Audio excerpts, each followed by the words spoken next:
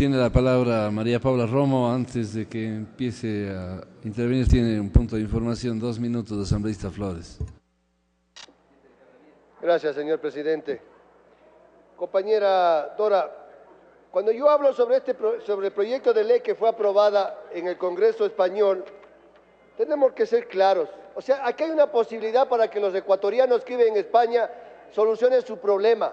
Y lo interesante y el mensaje de lo que yo estoy hablando es simplemente de que los abogados contratados por el Estado ecuatoriano a través de la Embajada y a través de la Secretaría Nacional del Migrante deben actuar en este sentido. Le voy a hablar sobre un punto bien claro que usted mencionaba.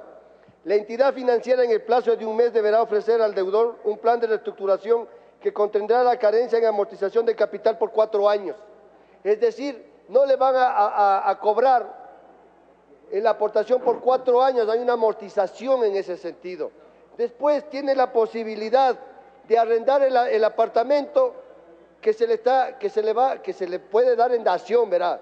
Porque estamos hablando de que ya se está aprobando en este proyecto de ley la dación por el pago de la deuda hipotecaria. Ya hay esa posibilidad. Ahora, este es un abanico de posibilidades que se abrieron a través de esta ley.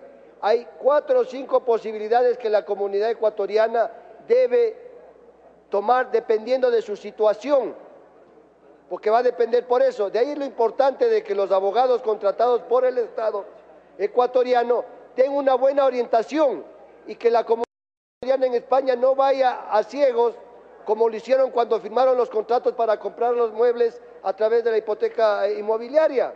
Hoy hay una gran posibilidad de que solucionen su problema y mi llamado es en ese sentido yo simplemente le digo a la comunidad de los asambleístas acá de que ya hay un proyecto ley mandado desde marzo en, en, el Reino de España, en el cual deberíamos acogernos, deberíamos buscar soluciones y la Embajada y la CENAMI son los enviados a darle orientación a nuestros compatriotas para que no salgan perjudicados.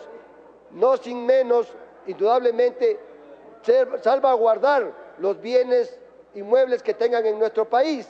Eso me parece correcto, pero hay que, hay que, hay que informar realmente a la ciudadanía lo que está pasando allá, de que ya hay una situación de arreglo de la situación que están viviendo nuestros compatriotas.